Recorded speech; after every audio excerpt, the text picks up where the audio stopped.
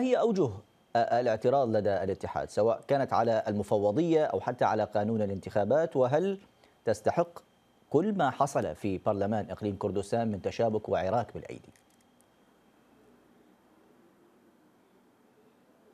أحييك أستاذ سعد ومشاهدي الحرة وأستاذ علي وأستاذ علي. صراحة الاتحاد الوطني الكردستاني كان وما زال يعتقد بأن الحوار هو السبيل الوحيد والخيار الأمثل للوصول إلى تفاهمات. أولا ما حصل اليوم فيه بعد سياسي وبعد قانوني. البعد السياسي هناك اتفاق بين القوى السياسية الكردستانية الاتحاد والديمقراطي وحركة التغيير على أن يتم حسم موضوع المفوضية وتعديل قانون الانتخابات وفق مبدأ الانسجام والتوافق السياسي. ثانيا هناك اتفاق بين قادة الكتل البرلمانية في برلمان إقليم كردستان على أن يكون هذا الملف مرتبط بملف الانتخابات ويكون عليه توافق وطني. ثالثا الملف بما يتعلق بالبعد القانوني. اولا كما كان في تقريركم أي تعديل أو أي إضافة لجدول أعمال جلسة برلمان الاقليم يجب أن يسبق ذلك 24 ساعة. وما حصل بأن تم إعلان عن إضافة دون العودة إلى رئيسة البرلمان قبيل 20 ساعة وبحد ذاته مخالف لروح المادة 48 رابعا من النظام الداخلي الذي ينظم عمل برلمان الإقليم. ما قامت به الدكتور الريواس فائق برفع الجلسة وتأجيل الجلسة هي صلاحية حصرية ممنوحة لها وفق المادة 18 ثالثا حتى تتلافى ما حصل من شجار واشتباك داخل البرلمان طيب. وأن تعود القوى السياسية للعقلانية والموضوعية. لذلك مثير للشفقة ما قام به نائب رئيس البرلمان لأن هذه الخطوة خطوة غير مدروسة وغير حقيقية. لأن صراحة أنا أعتقد بين هلالين إن صح التعبير هو جزء من العبث السياسي السياسي لأنه صراحة لم يتمكن بهذه الطريقة. أولا هو يعتمد على المادة 19 من النظام الداخلي والمادة 19 أولا من النظام الداخلي يقول في حال غياب رئيسة البرلمان. رئيسة البرلمان لم تكن غائبة كانت حاضرة في الجلسة وكانت حاضرة في مبنى البرلمان. هذا بحد ذاته إن طرح أمام المحكمة الاتحادية وإن طرح أمام من يقوم بفصل بهذا الملف بالتأكيد سيكون ستميل الكفة لرئيسة البرلمان وللاتحاد الوطني الكردستاني عموما نحن ندرك تماما بأن هذه الخطوات هي خطوات لإجهاض طيب.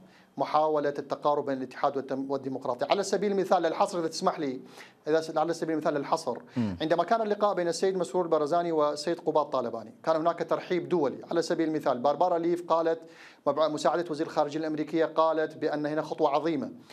سفير قنصل البريطاني في أربيل روزي لي كيف أيضا أعلنت بأن هذه خطوة جيدة. وكذلك سفيرة الولايات المتحدة الأمريكية في بغداد كان هناك ترحيب من قبل الجميع تقريبا سيد خوشناوي لهذا التقارب بعد بعد أشهر من القطيعة وأن فريق الحالة السياسية بدأت تتنافس الصعداء اسمح لي إذا سمحت لي. حتى حتى نستغل فقط الوقت ونوزع التوقيت بشكل عادل. يعني دعني أنتقل بهذه التساؤلات إلى ضيفي من بغداد السيد علي الفيلي. إذا ينبغي أن تكون هناك توافقات على أي شيء يطرح على مجلس النواب بالرجوع إلى باقي الكتل وبالسياقات القانونية 24 ساعة. لماذا تجاوز البارتي هذه الاتفاقات وطرح القانون بهذه الطريقة على المفوضية؟ نعم مساء الخير عليك سهل. أستاذ سعد وعلى ضيفك الكريم ومشاهدين قناتكم الموقرة أينما كانوا. فقط للتصحيح أنا من أربيل وليس من بغداد شكرا يعني للتصحيح. أنا أيضا حاضر في استوديوهات الحرة في أربيل. نعم. بالحقيقة ما جرى اليوم في برلمان كردستان ينم عن يعني عدم الشعور والإحساس بالمسؤولية من قبل بعض النواب.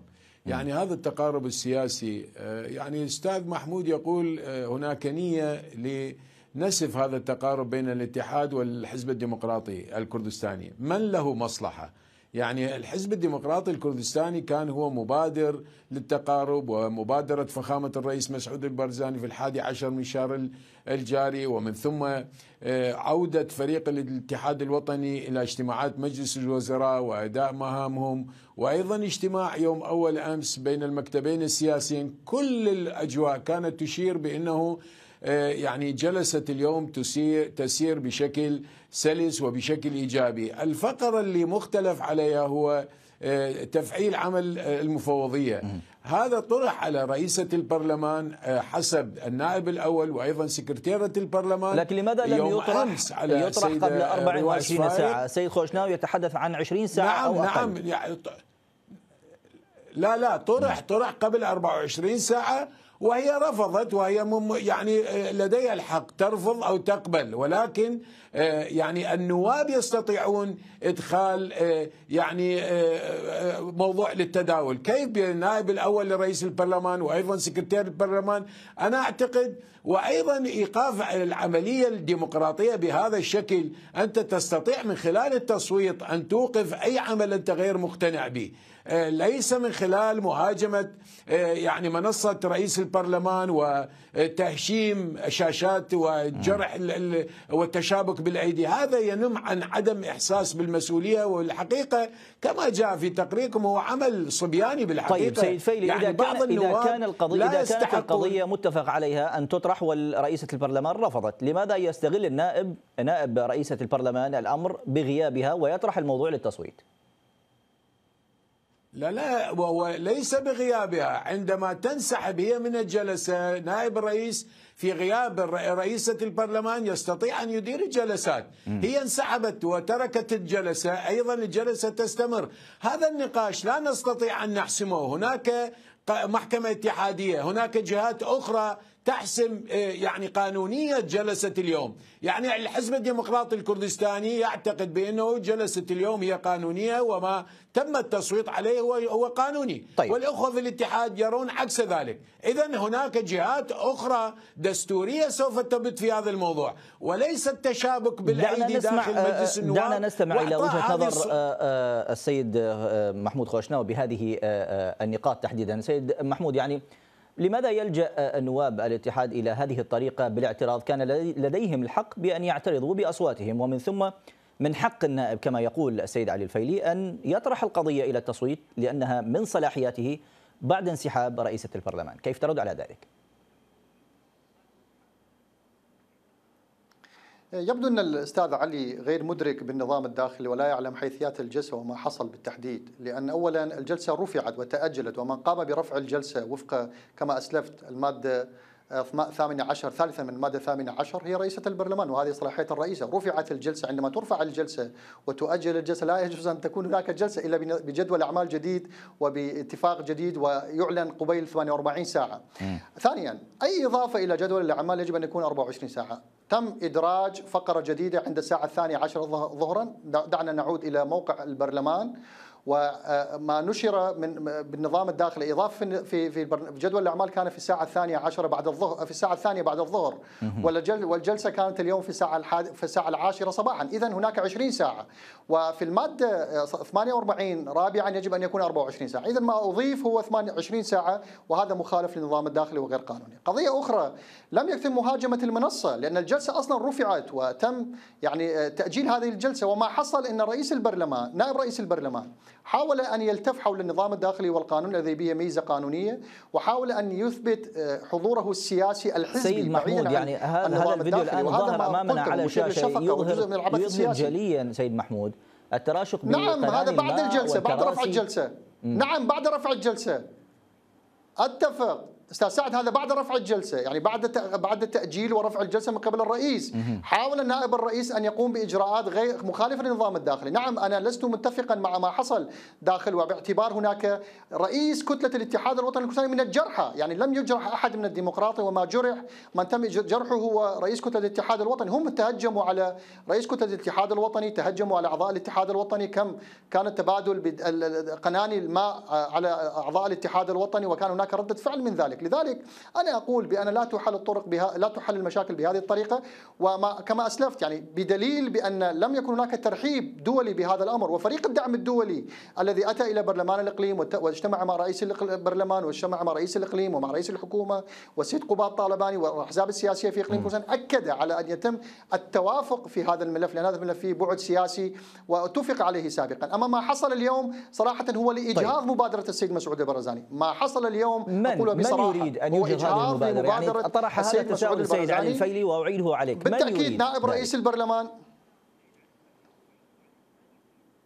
بالتأكيد نائب رئيس البرلمان هو الذي يتحمل هذه المسؤولية وسكرتيرة البرلمان هي التي المشكلة إنه سكرتيرة البرلمان هي من المكونات من المكونات الأساسية من التركمان. لا يجوز أن تتدخل في صراع بهذا الشكل. هو هذا أصل المشكلة. خلافنا على المكونات بأن طالما ما كانت المكونات يعني طيب. تنأى عن نفسها في هذه الصراعات لكن مع الأسف السيدة منى تدخلت سلبا آه، في في هذا الصراع بين الاتحاد والديمقراطي واجهدت مبادرة السيد مسعود البرزاني قبل مبادرة فريق الدعم الدولي مفهوم. التي ساعدت القوى الكردستانية على سيد علي بانهاء القطيعة. سيد علي يعني لماذا يصر البارتي على هذا القانون وهذه المفوضية مع أن المحكمة الاتحادية قضت بعدم دستورية هذه المفوضية؟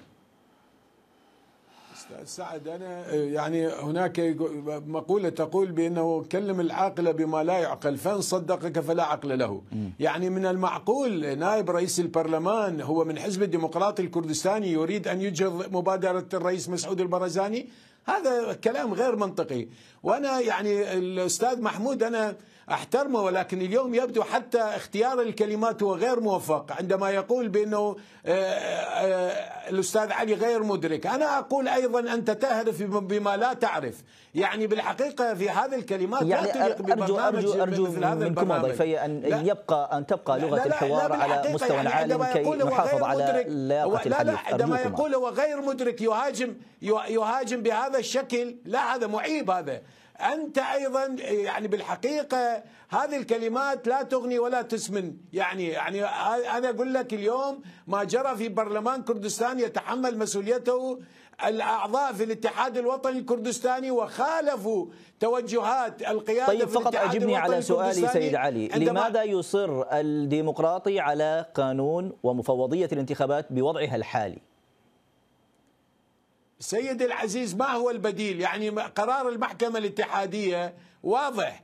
عندما آه، يعني يلغى هذه المفوضية تلغى هناك البديل سوف يكون من يعني الحكومة الاتحادية أو المحكمة الاتحادية تحدد البديل. والمفوضية هي مفوضية آه، وطنية ومشاركين فيها من جميع الأحزاب السياسية. يعني هذا مكسب للشعب الكردي. من يريد أن يعطل هذه المؤسسة ما هو هدفه؟ أنا أنا أتساءل هنا وأسأل من السيد محمود ما هو هدف تعطيل هذه المؤسسة وإلغائها؟ هل يخدم هذا تطلعات الشعب الكردي وما نصبو إليه وانتخابات الإقليم؟ لا أنا أقول لك لا. يعني هذه تخدم أجندة غير آه، وطنية. بالحقيقة يعني هو معروف وإلا تفعيل المفوضية كان متفق عليه. تفعيل طيب. المفوضية لإجراء الانتخابات. وتأجيل العام أيضا كان بسبب هذا الخلاف. يعني الأحزاب كلها اتفقت بأنه تجرى الانتخابات مع هذه المفوضية. طيب مع الأسف الشديد أه، اليوم ما جرى سيد محمود. في مجلس النواب من قبل نواب الاتحاد هو يعني خارج عن عن النص وخارج عن وصلت الفكرة سيد سيد علي. دعني يعني سياقات دعني أتحول بسؤالك إلى سيد محمود. يعني ما البديل في حال إلغاء هذه المفوضية؟ وهل سيكون مقبولا ان أن تكون رسمة المفوضية بشكلها الجديد من قبل المحكمه أو من قبل الحكومة الاتحادية؟ كما أسلفت نحن نراهن على الحلول الحلول الجذرية للترقيعية المفوضية أولا هناك دعوة في المحكمة الاتحادية تنظر في تمديد عمل البرلمان بدستوريتها من عدمه. ثانيا اليوم بعد ما حصل في برلمان الإقليم وبساعات قامت آه، المفوضية العليا المستقلة للانتخابات الاتحادية بإجابة آه، محكمة الاتحادية بأنها مستعدة لإجراء إجراء الانتخابات في الإقليم، اذا المحكمة الاتحادية عندما تبت في مستقبل الانتخابات في الإقليم وهي في يوم 24 أي بعد يومين المحكمة الاتحادية ستبت في ربما ستبت في مصير الانتخابات في الإقليم والمفوضية أيضا. هي طالبت المحكمة طالبت المفوضية الاتحادية بإجراء الانتخابات. لم تخاطب مفوضية الإقليم باعتبار مفوضية الإقليم معطلة. طيب بالحديث بالحديث سيد محمود على قضية المحكمة الاتحادية المفوضيه في الانتخابات في بغداد. اذا تسمح لي اكمل هذه الفكرة؟ هل ستلجؤون كاتحاد وطني إلى المحكمة الاتحادية؟ للطعن بما جرى اليوم. لا نحتاج إلى المحكمة الاتحادية. لا لا لا نحتاج إلى المحكمه الاتحادية. أصلا لا يوجد جلسة. بعد الاشتباك اللي حصل وبعد رفع الجلسة تم دخول مئات وعشرات من الحراس والأمن إلى إلى داخل القاعة. ما يوجد ما موجود في القاعة ليس في النواب. هناك أمن وحراس وشرطة داخل القاعة، لا نعلم من صوت الشرطة وغير الشرطة أم الأمن، لكن المحكمة الاتحادية بعد يومين ستبت في ذلك. والمحكمة الاتحاد المفوضية الاتحادية أجابت المحكمة الاتحادية اليوم بأنها مستعدة لإجراء الانتخابات. إذا لا أهمية لمفوضية الانتخابات في الإقليم. شكرا جزيلا من أربيل. كان معي القيادي في حزب الاتحاد الوطني الكردستاني محمود خوشناو وأيضا من أربيل عضو الحزب الديمقراطي الكردستاني علي الفيلي. شكرا لكم ضيفي الكريمين